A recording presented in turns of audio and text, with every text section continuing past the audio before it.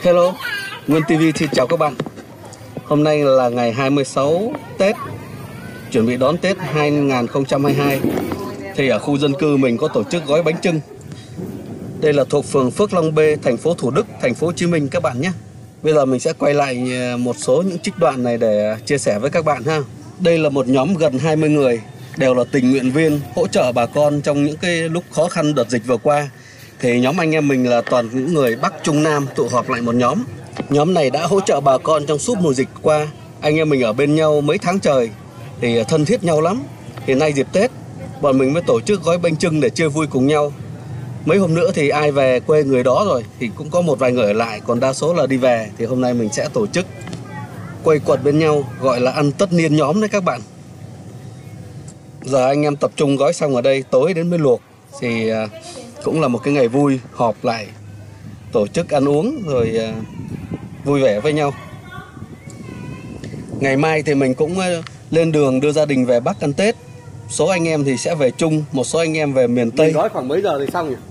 như đêm nay là sẽ là một đêm quây quần đáng nhớ của cái nhóm tình nguyện viên của mình Còn phải xếp ờ, bánh vào nồi nữa. Đây gói sắp xong rồi Đẹp quá hả? Bánh nào vuông vắn đẹp. Gói khôn đẹp. bánh cũng đẹp lắm vuông vắn gói bằng khôn mà toàn à, người nghiệp dư thôi không có ai chuyên nghiệp hết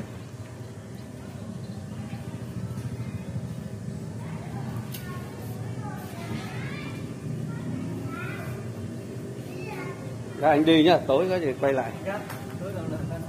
Ôi không khí nó hơi trầm nhé làm phát em Yếu quá vậy. Vô đi.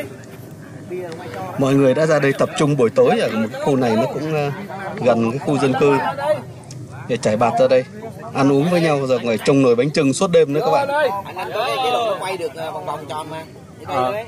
đó là hồi xưa là đi tàu Vô đi.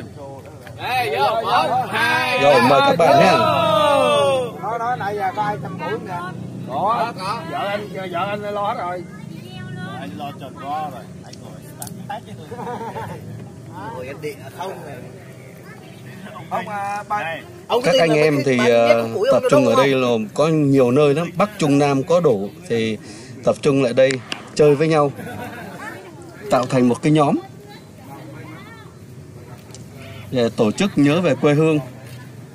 Xin lỗi ông về lão thầy tu không biết là mấy chục kiếp nó giặt tôi tụi mình luộc sớm một chút để mấy hôm nữa thì ai về quê người đó nữa thành ra cũng ít gặp nhau có người ở lại có người về đây có nồi gà để ăn tối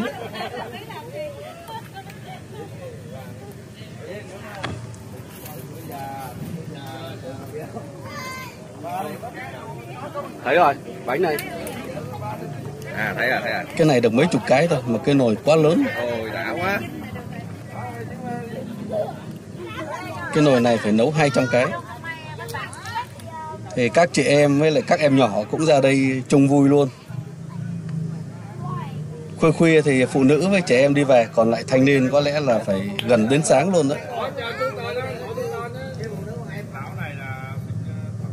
cái lý do để trông nồi bánh rồi tổ chức ăn nhậu với nhau cho vui thôi. Đây cũng coi như là bữa tiệc tất niên. Ông Vinh ông sinh năm tám mấy biết không ông sinh năm tám chín ông còn ít nữa hơn lòng nữa.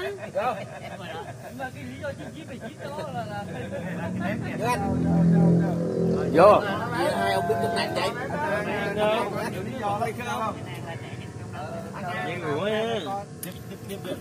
anh An lên sống anh An. Nhưng mà em góp ý anh An nha đừng giận nha. Em góp ý thật nha. Đây có anh em nè. Chục anh em nè. Em nói thẳng anh thành viên mới ra. Anh giận kệ anh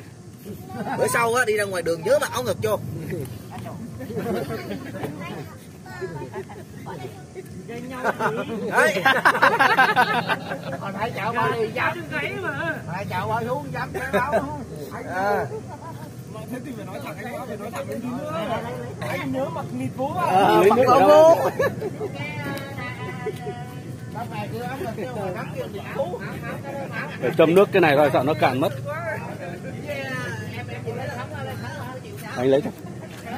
Thì các bạn thấy khu phố mình vui không? Tụ hợp được đầy đủ, Bắc Trung Nam đều ở đây.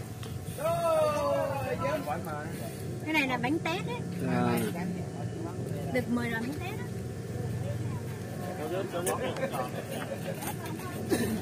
gò nóng đây gò nóng đây cơ bản là buổi sáng rồi. Thì ờ, mấy ông nhậu xỉn quá rồi đi nghỉ rồi. Bây giờ một số người ra đây ờ, phụ nữ hay một số người ra vớt bánh. Chỉ việc vớt cái này nấu cả 10 tiếng đồng hồ. Có mấy chục cái bánh thôi được có cái đáy nồi thôi. Được sáu chục cái. Vớt ra đây bánh cũng đẹp lắm các bạn. Màu xanh mướt luôn. Nhìn cũng rất là này nọ chứ. Vậy là video gói bánh trưng của khu phố mình kết thúc tại đây nhé. Cảm ơn các bạn đã chú ý theo dõi. Hẹn gặp lại các bạn ở những video tiếp theo. Cái này nó nứt ra này cái này do em kẹp á. Em em gấp cái kẹp á. Ờ, nó mềm quá thì gấp nó ra nó lụng lắm